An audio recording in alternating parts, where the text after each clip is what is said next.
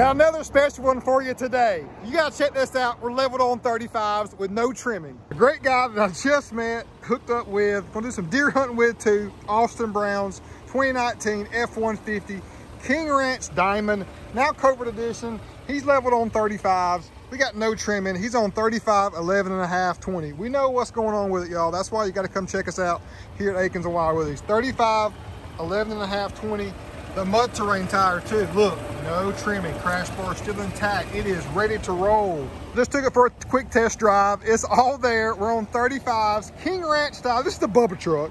He even said that he wanted him a Bubba truck. So Bubba truck is complete. Now we got to put a big buck in the back, y'all. Loves the dog as well, and this is a great setup. Ranch hand up front with the camera, so you got full capability of your front camera with the proper wrench in there. Go dogs again. We the champs, y'all. We the champs. Lots of protection when he's out on his properties, checking everything out. Toyo Open Country Mud Terrain Tire, as I mentioned, legit mud terrain, and we're on 35. What makes this work is the 11 and a half width he had 305 55 20s on here, which is a 33, but it's a wider tire. So he was closer on his upper control arm than we even are on this mud terrain setup, but a bigger size, looks great. Got his nice UWS tool box out back, King Ranch action. And the King Ranch to me is a perfect truck to build a Bubba truck because of the cattle ranch inspired interior. It just looks amazing. We got country luxury, Bubba style. So another 13th gen F-150. We're still knocking out the 13th gens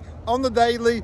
You know we got the 14th gens on lock too and everything before that. So if you have an F-150, Wild Willies and Akins is your source to customize and make it more unique. That's what we're about, y'all. The Georgia Bulldogs. We're all about champions. All you're gonna find is champs here. We got champs everywhere. y'all, thanks so much for watching another informational video. I hope this helped you in your process of making your truck unique. Until next time, peace out.